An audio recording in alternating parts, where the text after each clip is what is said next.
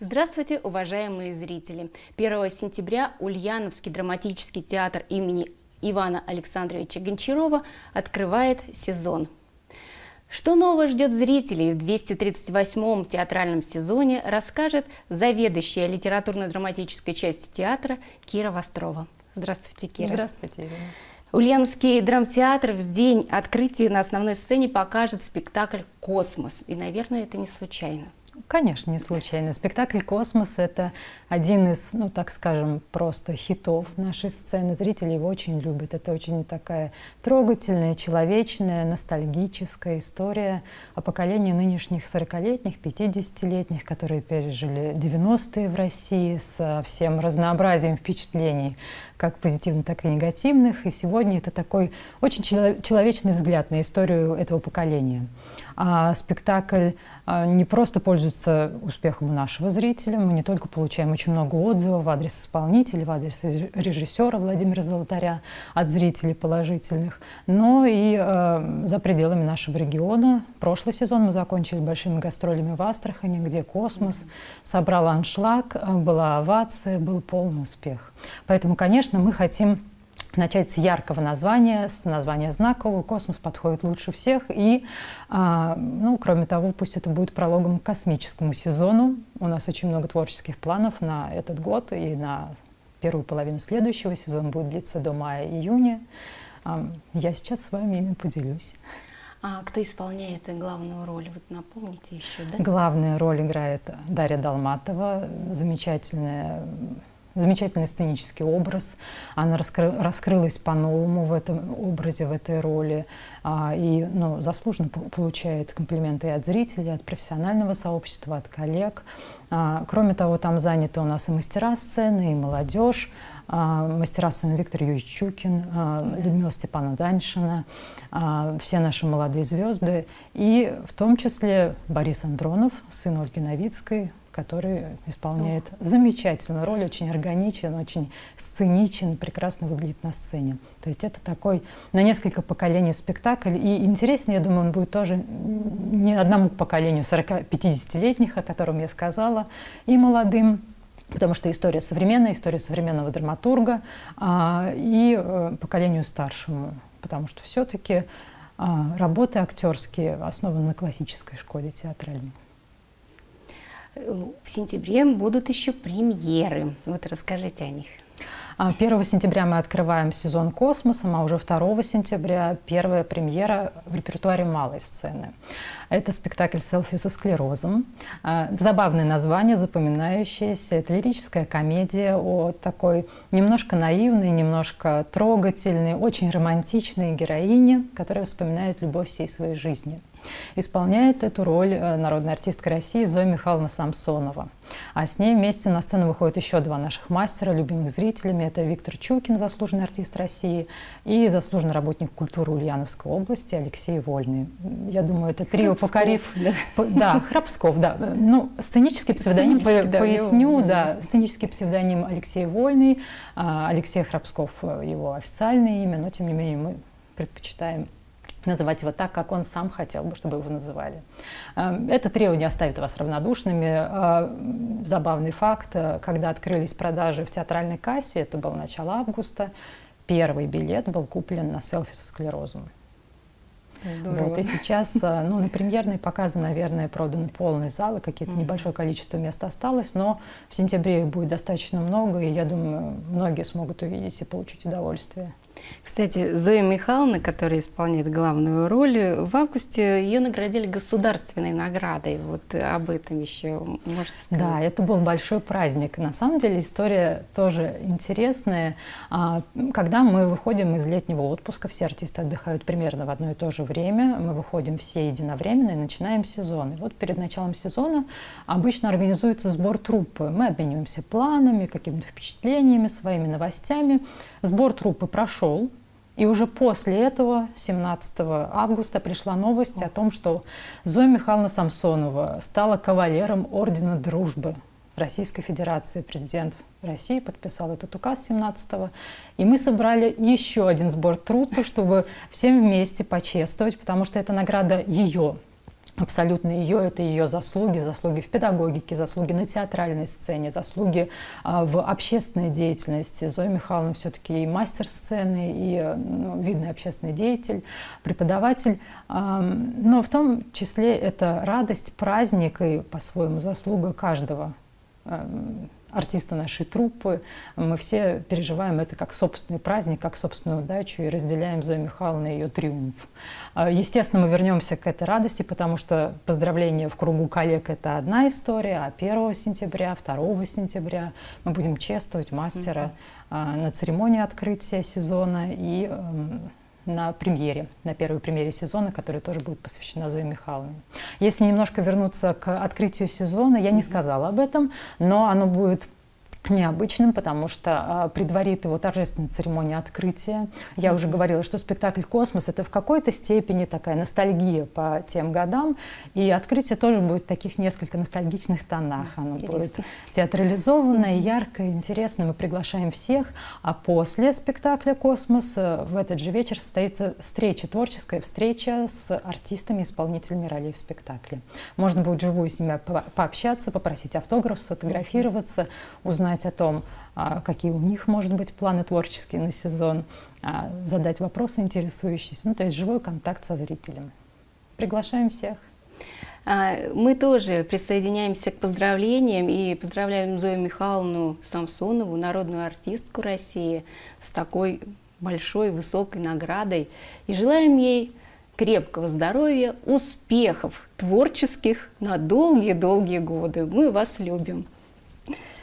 И вот я еще хотела уточнить, вот селфи со склерозом э, в постановке режиссера Владимира Казанжана. Да, Семеновича Казанжана. А, а, Владимир... Это Димитровградский режиссер. Да, да, Владимир да? Степанович Казанжан, заслуженный Степанович. работник культуры России, а, неоднократно ставил на нашей сцене, неоднократно приезжал а, к нам с собственным коллективом, постоянно принимает участие в фестивале театров Ульяновской области, лицедей, на его показах. Всегда полные залы, а, потому что у этого режиссера есть свой особый почерк. Он рассказывает человечные истории о простых людях, э, умеет найти какую-то такую интересную, интересный ракурс. И селфи с склерозом, я думаю, будет подтверждением этой сентенции. Мы все погрузимся вот в эту атмосферу любви, внимания к человеку. Но он остался в подиуме, он бессменный да, руководитель. Да, конечно, но мы ему всегда рады и на нашей сцене, хорошо, это хорошо. с удовольствием сотрудничали с ним вот, и ждем премьеры. С 5 сентября в Ульяновском драматическом театре начинается показ золотомасочных спектаклей. Вот кто к нам приезжает и что увидят зрители? Золотая маска в Ульяновске – это уже хорошая традиция, традиция, которую ждут. Это фестиваль, а, который собирает аншлаговые залы. Ну, в принципе, к открытию сезона зритель успевает соскучиться и да, раскупает да, да. билеты, как только открываются кассы после летнего перерыва. Да. Золотая маска, естественно, одно из ярчайших событий начала mm-hmm. сезона. И в этом году к нам приедет два коллектива, покажут они четыре спектакля в общей сложности. А, третий раз приезжает в наш город Московский академический театр имени Владимира Маяковского. А, они откроют 5 числа а, фестиваль спектаклем «Старший сын» по Вампилову, где роль Сарафанова центральную, по сути, исполнит Игорь Михайлович Игорь Матвеевич Костолевский. Оговорилась. Да, а, очень приятно. Исполнит он, Игорь да, Матвеевич он Костолевский. Будет, а, он а, президент э, премии фестиваля «Золотая маска», поэтому он будет общаться и с прессой, и а, со зрителями со сцены mm-hmm. в спектакле, mm-hmm. когда он будет играть роль. А, замечательный спектакль. А второй а, показ состоится 7 сентября. Это будет второй спектакль в исполнении артистов театра Маяковского «Школа жен Мольера». Тоже комедия. А здесь э, зрители наверняка тоже ждут встречи с мастером сцены, с широко известным артистом, народным артистом России э, Александром Глоботским. А, вам придется все-таки резать. Александр Лоботский у меня застряла. Или Анатолий. Александр Анатольевич, по-моему. А, я скажу. А, и в спектакле «Школа жен» зрители ждет встреча с долгожданным мастером сцены, которого они наверняка знают и любят, Слободским, народный артист России. Он исполнит роль Арнольфа. Ну и кроме того, поскольку мы уже третий раз встречаем на нашей сцене театр Маяковского, вся труппа, можно перечислять всех участников спектаклей этих двух, э, потому что встречи с труппой ждут. А, и билеты раскуплены практически полностью. Осталось какое-то очень небольшое количество билетов. А, может быть, кто-то не сможет прийти и сдаст билет в кассу. Ну, то есть сейчас в кассе горячая пора. А завершит а, фестиваль «Золотая маска» в Ульяновске театр, с которым мы раньше еще не встречались в программе «Золотой маски». Это Новосибирский академический молодежный театр «Глобус». Они привезут очень интересное название «Спектакль «Мальчики». А, по повести Владислава Крапивина «Та сторона, где ветер». Э, имя Владислава Крапивина для людей нашего поколения, чуть старше, это ну, такая известная история. На его книгах росли, его книги были настольными, он был очень популярным а, писателем, советским писателем, писал для молодежи, для подростков о мужании, о взрослении. И вот история мальчики как раз об этом. У нее очень такой яркий социальный посыл а, о том, как молодой человек находит себя в этой жизни, в трудностях этой жизни. И мне кажется, это было бы интересно и поколению родителей современных, может быть, даже молодых родителей, у которых только впереди все эти проблемы, столкновения с реальностью э, их детей, э, и, э, собственно, нынешним подросткам потому что театр «Глобус» — это один из ведущих театральных коллективов страны. У них очень много наград. Той же самой «Золотой маски», очень много номинаций, лауреатов и других престижных театральных премий России. Он в театральном профессиональном пространстве России очень известен, и встреча с ним большая удача. Вы представляете какие-то расстояния. Благодаря да, «Золотой да, маске» мы можем увидеть уникальный театральный коллектив, очень современный, очень актуальный, очень изобретательный, тех, технологически сложный, так скажем. А, и при этом вот разговор о советской классике для молодежи, интересно, как это будет выглядеть сегодня на сцене. Я думаю, надо обязательно посетить. Тем более, что возможности есть. А, гости из Новосибирска сыграют этот спектакль дважды. Они mm. сыграют его в 12 часов дня mm-hmm. и в 17.00 на основной сцене. Тоже всех ждем. Спасибо. И сами ждем с нетерпением.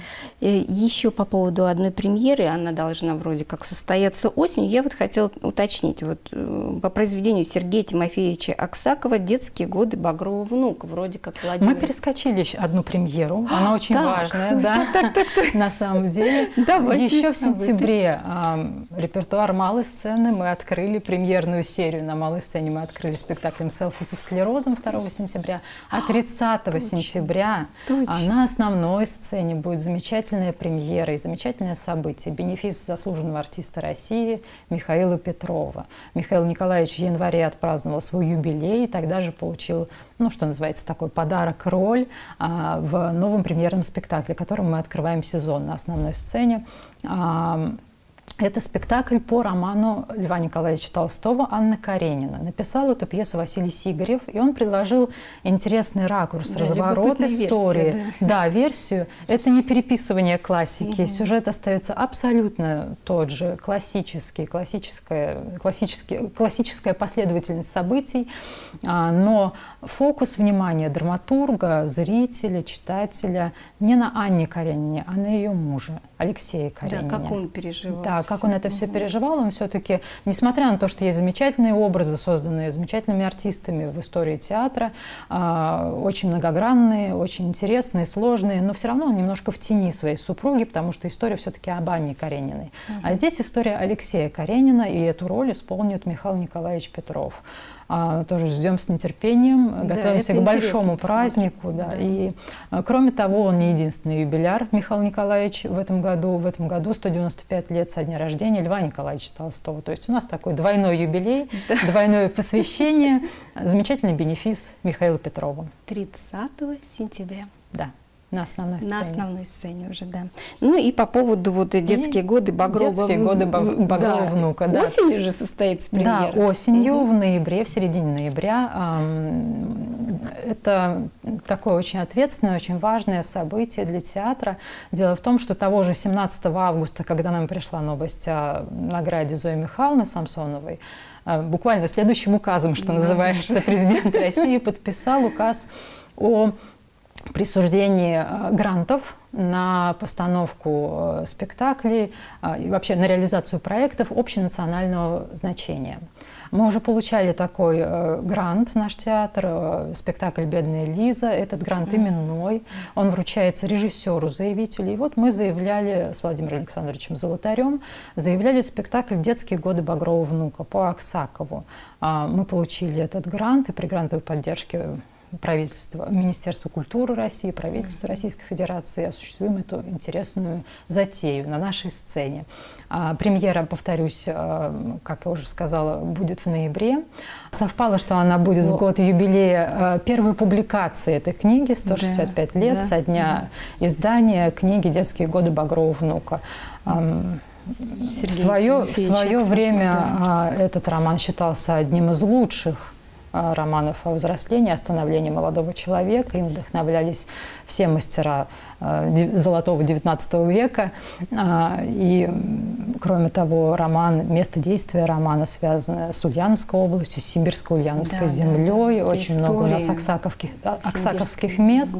И я думаю, это будет интересно не только прямым адресатам молодежи, но еще и молодым, э, в принципе, всем работникам культуры, которые интересуются краеведением, интересуются историей края, литературой, потому что это будет такое яркое э, событие на культурном, профессиональном небосклоне нашего региона. Ждем с нетерпением. Да. Будут ли премьеры с приглашенными режиссерами? Обязательно.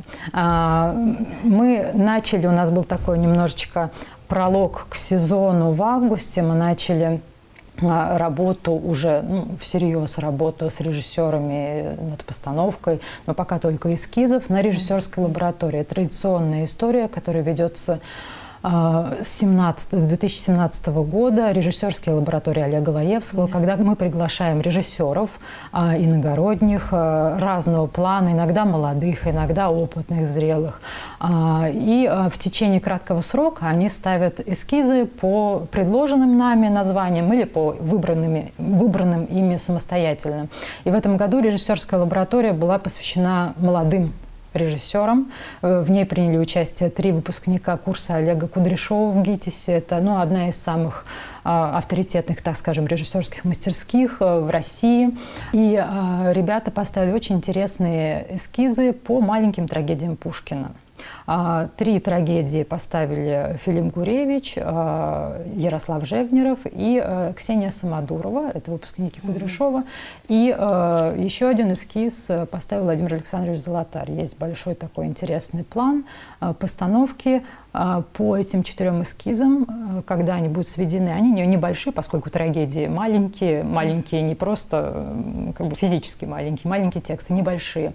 Они будут объединены в одну постановку, такой так скажем, альманах, что ли. ну, в общем, это будет э, некий коллаж театральный э, на тему маленьких трагедий в год юбилея Пушкина, который нам предстоит в 2024 году. А, и мы предполагаем, что вот такой интересный опыт работы над спектаклем в компании четырех режиссеров. Вот это интересно, это впервые одного, будет, одно, да? одного угу. художника-постановщика, э, который свяжет всю эту историю в единое целое, некими мотивами, некими визуальными образами. Вот это все у нас будет э, на вторую половину сезона в следующем году, предположительно весной. Ну, Пока точнее не скажу, чтобы не обманывать и не ожидания зрителей. А, вот. а в этом полугодии до Нового года к нам приедут два режиссера. Это режиссер э, Ирина Дремова. Она поставит спектакль опять снова советская классика Таня Арбузова. И очень известная пьеса о сильной советской женщине. Э, в, точка зрения современной, молодой женщины, mm-hmm. очень юная, Ирина Дремова очень молодой режиссер, но уже, э, в принципе, состоявшийся на профессиональной сцене, сделавший первые очень яркие, очень хорошие шаги э, в профессии. Она собирает такую же молодую постановочную команду, художник, художник по свету, и ну, это будет интересный, любопытный разворот этой истории. Mm-hmm. Премьера планируется к концу ноября. Тоже скоро. да? Да, ну, скоро ну, появится на нашем сайте репертуар. Пока только сентябрь-октябрь, но ноябрь тоже скоро будет.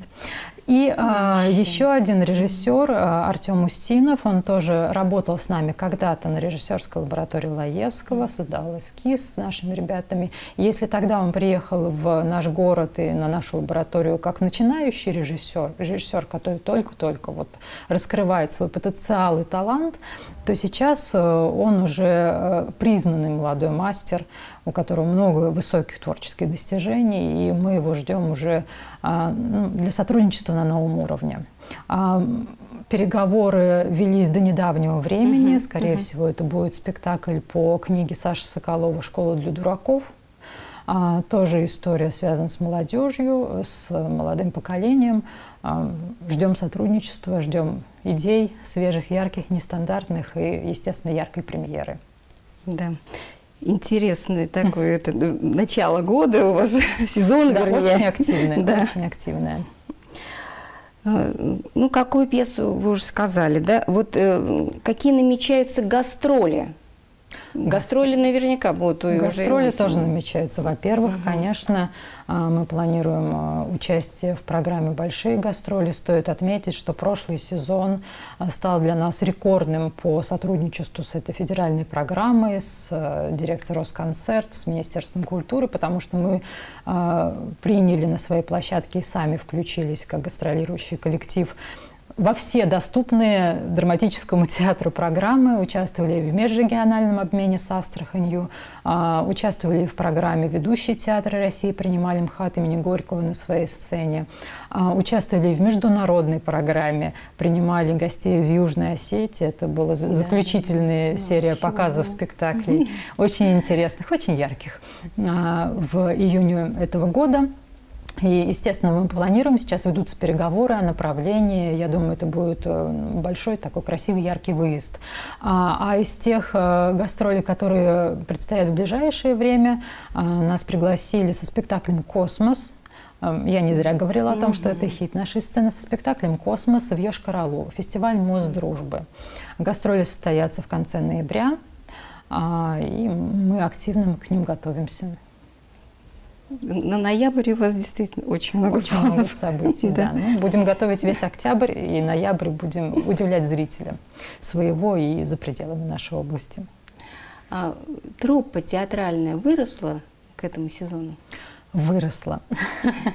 В течение сезона проходило очень много прослушиваний. Наш главный режиссер, наши мастера сцены встречались с артистами, которые подавали заявки на то, чтобы служить нашей труппе, и показывались, и хотели бы продолжать на нашей сцене свою творческую деятельность. А пока что в нашу труппу с этого сезона влился один ульяновский актер. Это Александр Лемехов. Многие его знают по спектаклю «Ван Фан Терибль». А, вот он начинает у нас, и у него уже, если говорить о дебюте именно на нашей сцене, он уже случился, потому что он вышел в эскизе во время режиссерской лаборатории на сцену. А, Владимир Александрович Золотарь э, дал ему такую вот пробную какую-то историю. Он очень Замечательно справился. Да, замечательно да? справился угу. с этой задачей. И буквально вчера вечером был принят еще один артист в нашу труппу, мастер сцены, артист э, более зрелого поколения, а, Александр Трапезников. Мы с ним еще не успели познакомиться близко, но, естественно, в начале сезона мы представим и коллективу, и публике, и, я думаю, увидим вскоре на сцене в работах. Да. И вот еще прочитала на вашем сайте, что театре появились инициативные творческие группы. Они вот никуда не девались. Что за инициативные творческие группы? А, на самом деле в театре идет не только работа по выпуску спектакля, какой-то mm. такой производственный процесс постоянный, идет некий еще творческий поиск. Mm. А, мы уже говорили о режиссерских лабораториях, но есть и, э, собственно, актерские инициативы. Достаточно вспомнить спектакль «Восемь любящих женщин», который да, очень да. давно идет на нашей сцене.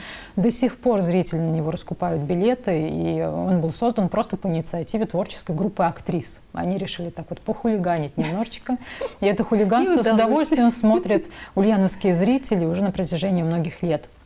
А, а то, о чем вы говорите, это плоды прошлого сезона. Во-первых, э, закрыли мы сезон, ну, это был такой постскриптум, так скажем, уже после официального закрытия. Актеры, которые еще работали а, в это время на репетиции, в репетициях были заняты, ну, было какое-то свободное творческое время, была идея, которая жгла их сердца, которая не давала им покоя, они очень давно о ней говорили, и все-таки это все собралось, случилось, случилось замечательно. Я говорю о творческой группе, арт-группе «Те, кому не лень». Так они сами себя обозначили, «Те, кому не лень». А, и они а, предложили руководителям нашим проект театрального квартирника – было много разговоров, как его на самом деле назвать, э, фаешник или еще как-то. Вопрос остается открытым, мы принимаем от зрителей варианты названий. А, ну вот э, «Квартирник» — это такая неформальная творческая встреча, театрально-музыкальный вечер, когда артисты вживую общаются со зрителями, поют им песни. На первый «Квартирник» они предложили зрителям игру а, «Задавайте вопросы», мы на них либо отвечаем, либо, если не хочется ответить или нечего, нечего ответить или еще какие-то причины, поем песню. Ну, такое вот желание или действие. А, и прав, правда ли действие? Правда, правда ли да, действие, правда да. Ли действие. А, такая вот игра. И а, сложилась какая-то такая очень теплая атмосфера на этом квартирнике, и зрители, и наши артисты. А, в том квартирнике участвовали Оксана Романова, Денис Бухолов, Николай Авдеев, Александра Дыдычкина и Юрий Ефремов, а, Кристина Каминская и наши ульяновские музыканты под руководством Алексея Кулика, который очень давно сотрудничает с нашим театром, а, музыканты прекрасные, джазовые, разноплановые, талантливые, выходят на сцену в наших спектаклях. А, зрители имеют счастье слышать живую музыку во время спектакля благодаря их таланту, благодаря их любви к театру. Вот это все сложилось в такой какой-то микс, очень интересный, яркий, и э, мы решили продолжить эту историю. Следующий квартирник будет собран в октябре, в пятницу 13 -го.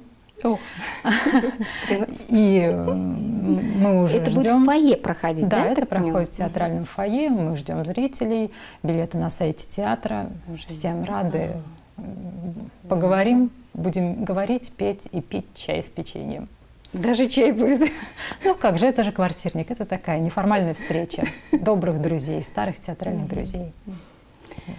А еще, еще одну, да. да, да, я представляю, потому что она тоже у нас на слуху, и тоже была замечательная новость, связанная с этой творческой группой. На самом деле э, творческих групп э, тогда образовалось несколько. Это было преддверие фестиваля «Лицедей» 23 года, и предварила, предварила его режиссерская лаборатория один на один. Один автор, один режиссер, один актер – Такая вот идея была у эксперимента по пьесе Островского «Гроза». А, группы из одного режиссера и одного актера представили такие небольшие моноспектакли, так скажем. И вот одна из этих групп, э, которая в составе актрисы и режиссера Ольги Новицкой и актрисы Анны Дулебовой представила интереснейший проект. А, вербатим, они создали свой эскиз в технике вербатим, собирали интервью у учеников разного возраста. Там были совсем малыши, там были старшие классы. А, давали почитать пьесу «Гроза» или пересказывали, если совсем младший возраст, пьесу «Гроза», и спрашивали мнение. И вот мнения детей, мнения школьников оказались настолько интересными, настолько необычными, при все это помножено на талант Анны Дулебовой и режиссерский, естественно, талант Ольги Новицкой. Она э, очень э, тонко ухватила э, вот эту органику какую-то, какую-то, э, так скажем, манеру говорения, каждого из участников угу. вот этих интервью. А, и все это передала, пересказала зрительному залу. Получилось очень любопытное действие. А, прототипы, э, вот, собственно, дети, которые давали интервью, сидели в зрительном зале, и потом на обсуждении уже с восторгом говорили, слушайте, я увидела всех своих одноклассниц, я себя узнала. Ну, в общем, в этом есть какая-то такая любопытная вещь. И э, девочкам не захотелось оставлять это просто опытом лабораторным, ну, да, чтобы да. это осталось в прошлом. И они подали заявку с этим проектом в Союз театральных деятелей России. Отправили заявку на участие в творческой резиденции Щелыкова. Это музей-заповедник Островского. К юбилею Островского там собирали творцов разных планов, поскольку театр синтетическое искусство, тут тебе и, и декламации, и танец, и музыка, и, ну, собственно, актерское мастерство как основа. И вот они в этой резиденции летом, они получили поддержку СТД, а, ну, собственно, выиграли конкурсный отбор, и этим летом в Щелыково девочки дорабатывали свою идею в ну, так скажем, намоленном месте, вместе с историей, вместе с памятью. А, вернулись оттуда вдохновленные, заряженные и а, планируют продолжить показывать этот эскиз уже как спектакль доработанный нашей аудитории школьной, родительской, учительской Это, и вообще да, широкому зрителю. Да, узнать, да. Вот, э, увидеть, точнее, грозу вот такой интерпретации. Да, это интересно, правда. Спасибо, Кира. Угу. Много всего будет в сезоне. Мы ждем с нетерпением. Спасибо, до свидания. До свидания, уважаемые зрители. До свидания.